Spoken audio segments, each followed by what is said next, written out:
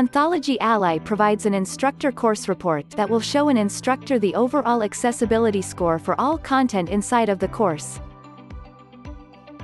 and can be accessed by going to the Books and Tools menu. When selecting the course report, instructors will be able to see the overall accessibility score, and a breakdown of all of the different content items that have been uploaded. Ally provides guidance on prioritization and remediation steps by highlighting issues that are easiest to fix or lowest scoring content. Also, you will see a listing of all of the issues that were found inside of all content in the course. By clicking on one of these issues, you'll be able to see all of the content items that have this particular accessibility issue.